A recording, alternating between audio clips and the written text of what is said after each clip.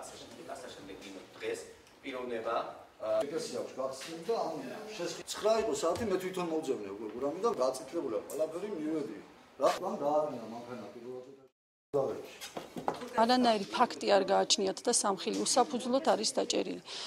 საჩვენებლად, რომ ამ ხელა საქმეს უნდა ჭირდებოდეს, ვიღაცა არის დაჭერილი. აქ არ არსებობს არანაირი სამხილი, არანაირი საფუძველი, არც ერთი სატელეფონო ზარი. ის ვერანაირად ვერ შეძლებდა იმ ტვირთის მეპატრონესთან, რომელიც თურქეთის მოქალაქე იყო, ვერც მოლაპარაკებას და ვერაფერს ვერ შეძლებდა. მოვილაპარაკეთ ჩაოლებრივად, ნახე ჟელე იყო, ხელების დავიბანეთ იმ ჟელეთი. რაოდენობა მაჩვენა, საბუთები მაჩვენა, დეკლარანტმა საბაჟოზე, საბუთები დეკლარაცია გამოიწერა საბაჟოზე შიგნით.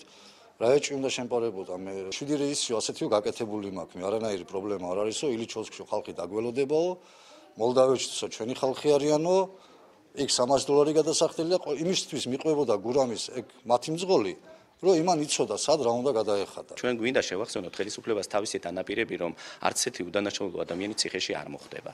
საქმეში არსებული მასალებით, იმ ინფორმაციით და იმ მტკიცებულებებით, რაც არსებობს დღემდე, აშკარად დასტურდება, რომ ეს ადამიანი უკანონოდ არის ციხეში და თავარი ამოცანაა, რომ ის დაუყოვნებლივ გათავისუფლდეს საპატიმროდ.